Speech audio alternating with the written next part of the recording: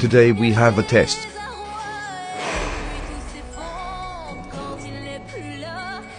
It's going to be easy.